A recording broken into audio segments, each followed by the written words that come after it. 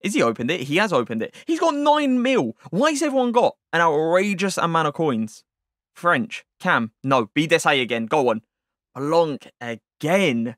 We've seen French centre back now three times. Three times. When are you gonna show? When are you gonna show us Zidane? Huh? Where's Zidane at? What are we gonna see? French Cam. Just like that. Just like that, we see ourselves a Zidane. So now we've got a Zidane and a Cruyff. Oh yeah, these are warming up. These are warming up. Let's go. He's in a Brazil kit. That looks so wrong. Just it, it just doesn't look right, right? It just doesn't. But yeah, what a card. What a card to get, man. Look at him pointing at his uh, his card. He's like, yep, that's me. Mm-hmm.